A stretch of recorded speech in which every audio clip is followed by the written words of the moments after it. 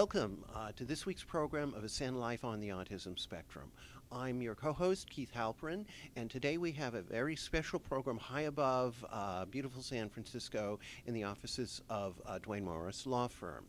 Our, our guest today is uh, Matt uh, Tarver Wahlquist, who is CEO of the ARC San Francisco. And uh, our other interviewers are my co host, Will Bernick, and uh, a founder of AASCEND, Camilla Bixler. And to begin with, I always have to ask uh, Will, what's with your shirt? I'm glad you asked.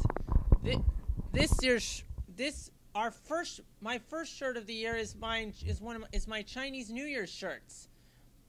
As as some of you may know, next as some of you may know, next month is Chinese New Year. Last year was the year of the dog, which which would explain what this which which would explain the shirt. So so so now we have so now Chinese New Year starts again next month. So so and and this since this year is the year of the pig. Um, I think then we will begin uh, with you, Will, uh, and uh, introduce our guest, uh, Matt Tarver Wahlquist. Could you take it, please? Tell us about your current position as head of the ARC San Francisco in relation to the autism community. Yeah, I'm happy to do that. First of all, thanks for having me here. And Will, I love your shirt. And uh, yeah, my name is Matt Tarver Wahlquist. I'm the new CEO at the ARC San Francisco. I started there in mid August, so I've been there for about five and a half months. And the ARC San Francisco, we are a service provider for people with disabilities and differences, and we really see ourselves as a center for lifelong learning for our community. And we do a lot of work with the autism community. We serve a number of people on the autism spectrum, and we also partner with AASCEND, who holds their meetings at our office, and we partner with the Specialist Guild, which is a small organization that pursues tech employment for people with autism. You know, at the ARC San Francisco, we do a number of things. We try to sort of look at the entire spectrum, so to speak, of someone's life. And we look at their life skills and their ability to live independently in the home. We look at people's uh, educational goals and try to construct curricula and classes to help them pursue the education they want. And a major focus of ours is employment. Uh, we understand that people with autism are severely underemployed and not because of a lack of ability or a lack of desire, but because um, for various unfortunate reasons, they are a largely marginalized group, sometimes an invisible group. And part of our job is to make that community visible and to give them the skills to go out and advocate for themselves and find jobs they want to do and to work on all the skills that are needed in employment. You know, part of that is the discovery process. It's trying to understand what your interests are, what your skills are, what you would like to do, what areas of the world you would like to work in. And then it's what steps are needed in order to find a job. You know we need to work on building resumes working on interview skills. And then on the job we provide job coaching to help people become successful in their employment. So that was kind of a long summary of what we do. And that was only that only scratches the surface but that's who i am and that's what we do tell us about your background well i have been working in the developmental services field in the San Francisco Bay Area for about 17 years. Um, prior to my position at the ARC San Francisco, I was the vice president and COO at Lifehouse. Lifehouse is a nonprofit service provider for people with developmental disabilities. And when I was at Lifehouse, we put a really strong focus on building our skills at serving people with autism. And we started something called the Marin Autism Collaborative that I've been a part of. Even before I was at Lifehouse, I was part of the collaboration, been a part of it for about the past 10 years. And it puts on educational events, it runs support groups for parents. I've facilitated a number of support groups for, for parents and family members of people on the autism spectrum. Prior to when I worked at Lifehouse, I was direct, director of residential services at the Cedars of Marin, another service provider, uh, providing services for people with developmental disabilities, including autism. And prior to that, where I got my first job, was a small nonprofit in San Rafael, California called Opportunity for Independence. And that was my sort of gateway into this field And the way that happened was really accidental. And you know, maybe today I'll get an opportunity to talk about some of my ideas for the future because I would like people's entry into this field to be less accidental than mine. Though in most cases it's, either accidental or it's because someone has a family member or knows someone with autism.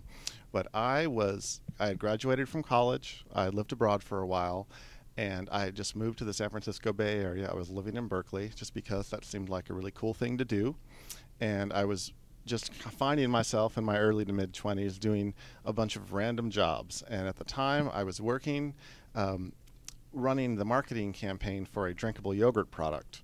And wasn't particularly satisfying. And I sort of took stock of where I was in my life and I decided to go back to school. And in going back to school, I still needed to support myself and have health benefits. So I tried to find a job that I could work a whole bunch of hours in a few number of days so I could qualify for benefits.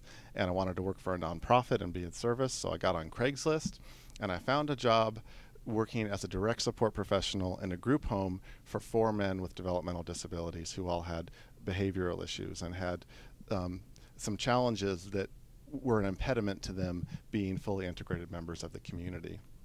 What are your What are some of your priorities going forward in working with the autism community? I have a number of priorities. Um, there are a number of challenges we face as service providers. Now, you know, when it comes to the autism community, I see three major areas that, in my role, I, I need to address. One of them is housing, another one is employment, and the other is the overall structure of the services system. And now that's a complicated one. I'll start with that one.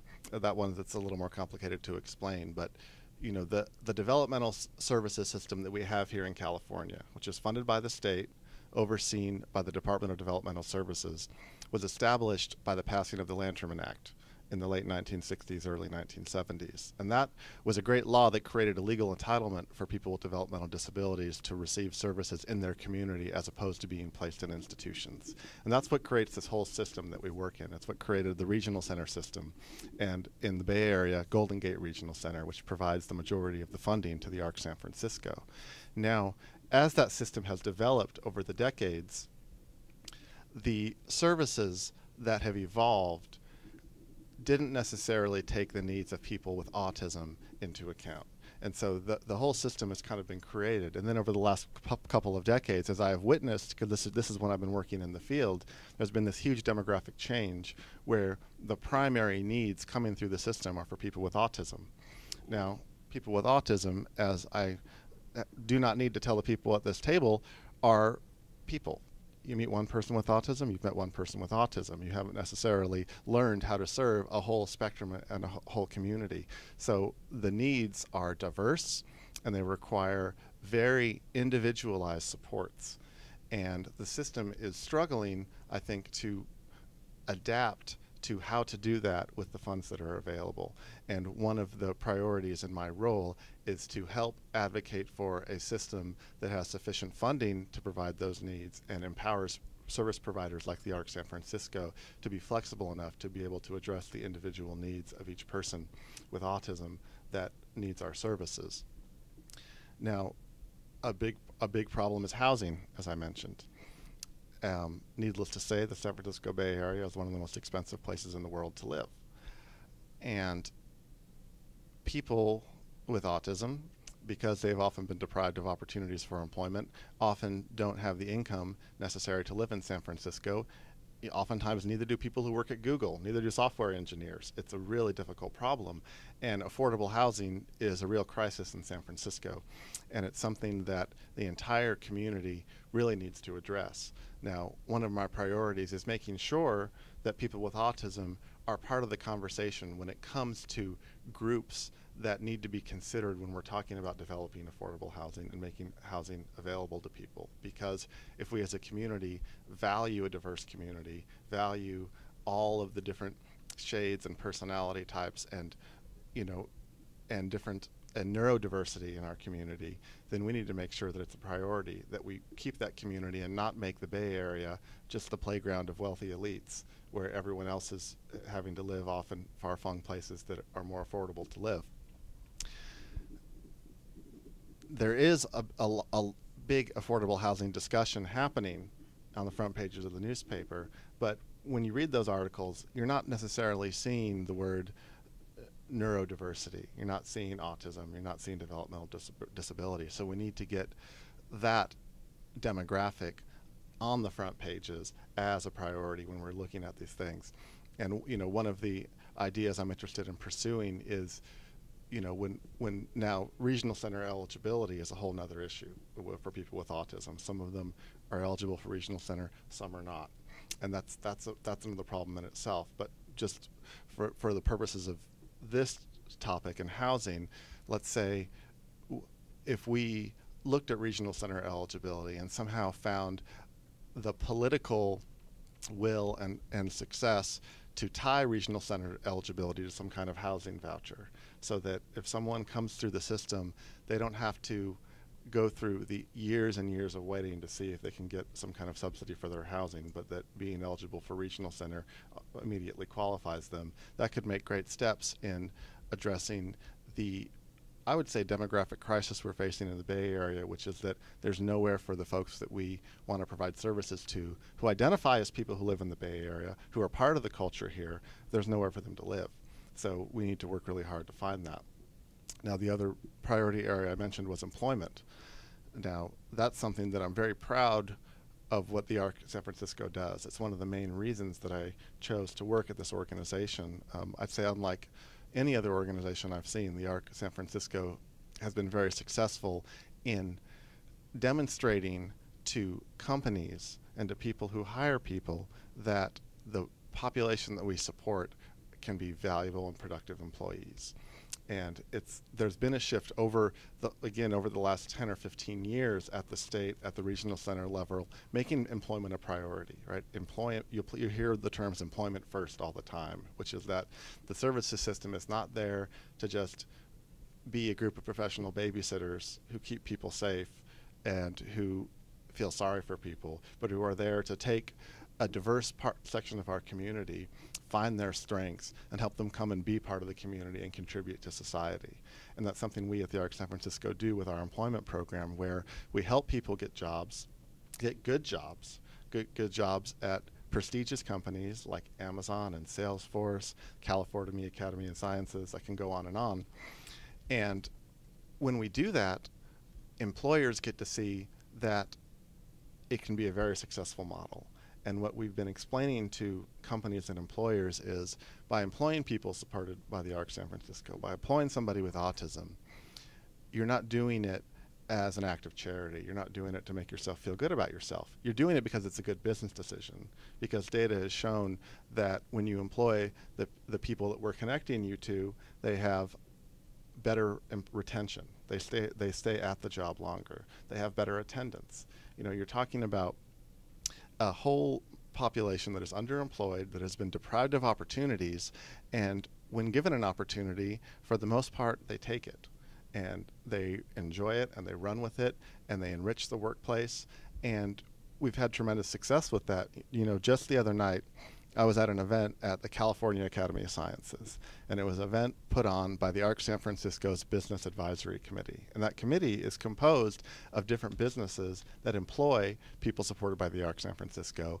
And that event is basically a networking event where they invite other businesses and they say, look at what a great thing this is. Look at how much this can, this can you know, enrich your workplace and it's also a way to educate businesses. A lot of businesses now are interested in diversity and inclusion, you know, which basically means let's make sure that our company isn't just a bunch of white guys, right? Not just a bunch of white males. We want we want our company to reflect the community as a whole.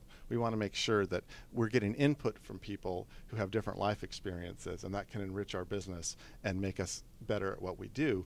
And we say diversity inclusion is very important. Don't forget about neurodiversity. That is part of it.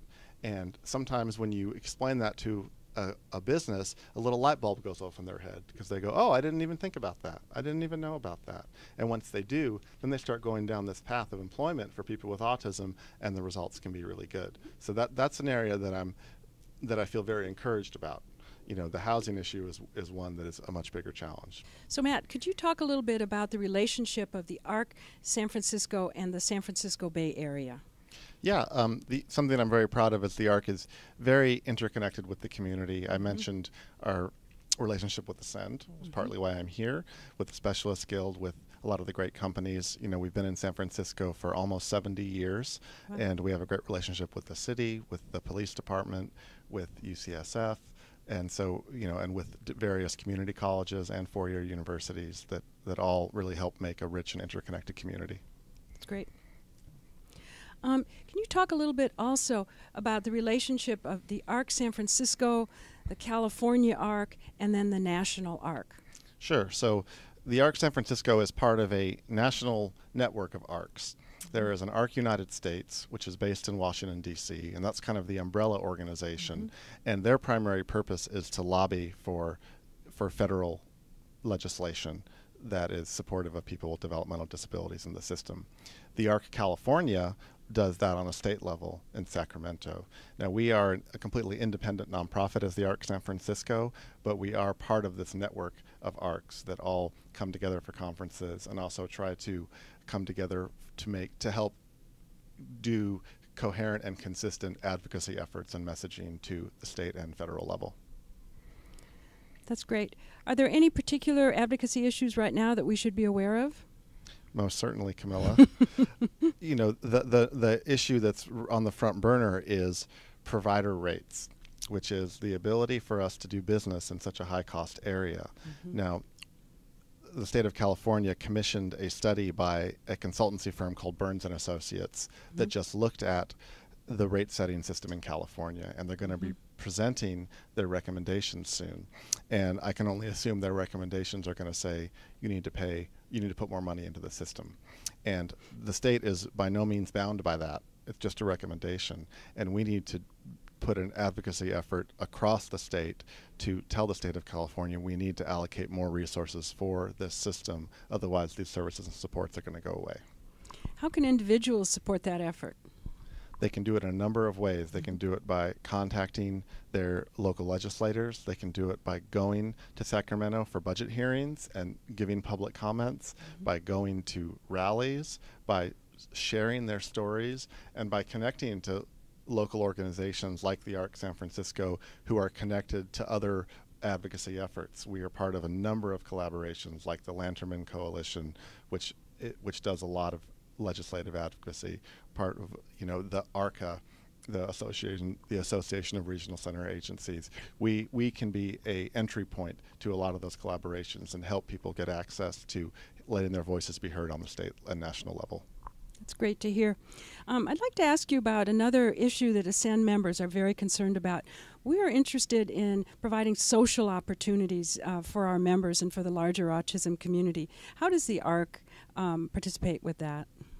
Yeah, you bring up a very important point, mm-hmm. especially because you know after the recession of 2008, a lot of the funding for more social opportunities was cut by the state. So there's not a lot of funding for that, and it really has to come from the ground up. But first of all, it addresses, I think, a really inaccurate stereotype that people with autism mm-hmm. don't need social connections. Mm-hmm. That they, mm-hmm. you know, um, they absolutely do. And again, you've got one person with autism, you've got one person with autism. There are people that are most social and people that are less social, and opportunities are absolutely essential for any of us in our life. Now, the ARC San Francisco addresses that partly through our Friends Like Me program, which is an evening social group that is privately funded and not, doesn't receive any funding from the state. Um, and then we also just do what we can to help connect people and build relationships. But I think that's something that it really needs to be addressed. And all of us at AASCEND want to say thank you to the ARC for allowing us to host our social events there and for allowing us to meet there. It's been a really important part of our program. It's a pleasure and an honor. That was super. Now, Matt, one of the primary uh, programs that you, or focuses rather, that uh, you mentioned the ARC has is employment related. And as uh, you know, this is something that's of a big interest to me individually as well as AASCEND overall. Can you describe some of the initiatives toward employment that the ARC is doing? Yeah, so we, we focus a lot of our energy on employment and on outreach to businesses. And it's really about education and about messaging, which is that employment for a person with autism doesn't have to be, it can be you know, being a bagger at Safeway. Nothing wrong with that. But if people have other ambitions, that's something they have the right to pursue, and that with the proper supports, they oftentimes can pursue. So it's about, as I had mentioned, explaining to businesses that this is a good business decision. It's beneficial to you as a business, and getting that message across. And by doing that, it really helps. Once it, once one business is successful, they tell their colleagues, and then it and then it starts to spread. Could you elaborate a little bit on, on actually how that is done? Or say, do you do it uh, for a group of uh, our clients? Do you do that on an individual basis? Or can you tell our viewers a little bit more about how that typically advocacy process works? Yes, well, we well, well. Let me actually start with working with the individuals, Yes. and we do it both on a group level and on an individual level. As groups, we have classes that teach people employment skills, teach people soft skills in the workplace, teach people, you know, basic things like the importance of showing up on time, to maybe more nuanced uh, aspects of the social environment at the workplace and and work performance. Then with individuals, we work on their individual goals and skills. Mm-hmm. And then we have job developers that go out to the community and to businesses and to tell them about what we can do for them. And then, if a business agrees to hire us or to hire one of the individuals we're supporting, then we provide a job coach who can be at the workplace at no cost to the employer or a very small cost to the employer to help facilitate the integration into the workplace for that individual. And then once we do that, we try to leverage those connections at, at those businesses. And, and once they hire one person, they often want to hire more. We often use internships as a way in. Uh, the Regional Center now funds internships. So we have internship programs that train interns, send them to businesses where they get to do a paid six month internship, which often can result in employment as well. Excellent. Uh, going forward, what particular challenges, both to uh, our clients overall and more specifically toward the autistic members of uh, the community, do you face in dealing with employment? Um, there are still lots of prejudices to overcome. While I'm very proud of the inroads we've made to the community, if you look at the big picture, they're still very small. So there is much progress to be made. I think that's the, that's the primary challenge, you know, and it's it's also the challenge of having people who can afford to live here Mm-hmm. to be able to help support them getting employment in the Bay Area. Tell us about family support. Well, f- families are key. You know, this whole developmental disability system, regional center funding, all this was created because of families, because of family advocacy. The Arc San Francisco was started by families. The place I worked before, Lifehouse, was started by families. It's, you know, when I go and talk to a politician about the importance for funding this system, they can choose to see me as a guy who just wants to keep his job even though I'm coming from a place of, of, of deep passion. Whereas if a family member is talking to a politician, they cannot doubt that individual's motives. That's, that's where the real, genuine honesty lands with the politicians. So families have to be involved in this. And families can be a very important provider in providing supports. Not everyone's lucky enough to have a family to have a family who's involved in their supports. Uh, but those that do can have a, a great advantage, not just from the advocacy level, but also as a partner with with the service provider. Uh, you know, we at the Arc San Francisco, one of the things I'm interested in doing moving forward is really uh, connecting with our families and you know building a family group that can come together and share stories with each other and also have a, a forum to be able to talk to me and share their ideas and concerns and we can talk about the direction the organization is going and what kind of needs and supports that their family members are having that are being met or what needs aren't being met or what needs or the future might be there so i, I see families of, as a very important piece in this whole puzzle of trying to make people with autism fully integrated members of our community Tell us about your future plans. Well, you know, my future plans are uh, on on the big picture is to make the Arc San Francisco an effective and strong organization that can help pursue our mission of creating rich lives for people with developmental disabilities and autism in our community to help people to help our community appreciate neurodiversity. Now, you know, the the the details of that, part of that is really continuing to grow our employment program. And not only that, but because we've had such success with employment, we have developed a, a, great deal of expertise, and we want to be able to share that expertise with other organizations and other companies. So we're developing a plan to really be able to teach other organizations how we how we engage with businesses and to teach businesses how to engage with organizations like us to make them as successful as possible, which I think is a way that we can make this happen not just on a local level, but to make it spread all over the city, all over the state, all over the country, maybe all over the world. And that, that's really what we're trying to do. While at the same time, keep pursuing advocacy for affordable housing, um, keep working with with funding from the state to make sure that someone who identifies as a resident of the Bay Area gets to live in their place of choice and gets to be a fully integrated member of the community. Hello, and welcome to part three of the Einstein Book Review mini-series. Today's book is Einstein, His Life and Universe by Walter Isaacson. This is one of the most comprehensive biographies of Einstein ever written. Einstein has long been suspected of being on the autism spectrum, and the book provides some support for the idea. In one episode, after Einstein got into an argument with another scientist, the other scientist wrote to Einstein, Had you devoted as much care to understanding people as to understanding science, you would not have written me an insulting letter. Isaacson describes this as a telling point and true. Einstein was better at fathoming physical equations than personal ones.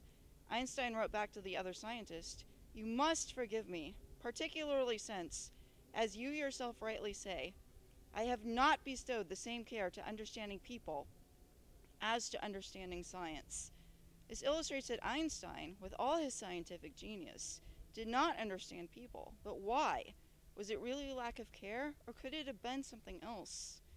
How could Einstein, with one of the greatest scientific minds in history, be able to understand esoteric physics concepts that few others could grasp, but not understand something as intuitively understandable as people?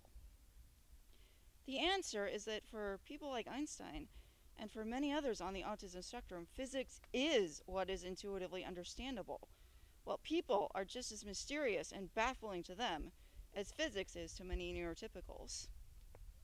Later in the book, Isaacson provides some additional insight into Einstein's personality. Isaacson states Einstein did not like to be constricted, and he could be cold to members of his family, yet he loved the collegiality of intellectual companions. As long as someone put no strong demands or emotional burdens on him, Einstein could readily forge friendships and even affections. A scientist who knew Einstein wrote, I do not know anyone as lonely and detached as Einstein. His heart never bleeds and he moves through life with a mild enjoyment and emotional indifference. His extreme kindness and decency are thoroughly impersonal. Einstein himself reflected. My passionate sense of social justice and social responsibility has always contrasted oddly with my pronounced lack of need for direct contact with other human beings and communities.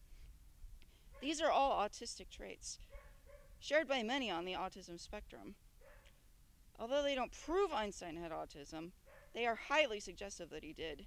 Isaacson, however, does not believe that Einstein had autism because Einstein, quote, made close friends, had passionate relationships, enjoyed collegial discussions, communicated well verbally, and could empathize with friends and humanity in general. Well, thank you very much, uh, Matt Tarver Wahlquist, CEO of ARC San Francisco. Uh, as a final note, uh, how can our viewers who are watching this program uh, get more involved and find out more information about the Arc of San Francisco? Well, our website is www.thearcsf.org. That's the arcsf.org, and there you can find you can find me. You can find any way to reach us. Well, thank you very much again. Uh, we wish you continued success both individually and for the ARC overall, and we are very grateful uh, to all the services that you provide to our community as well as to AASCEND and the Specialist Guild.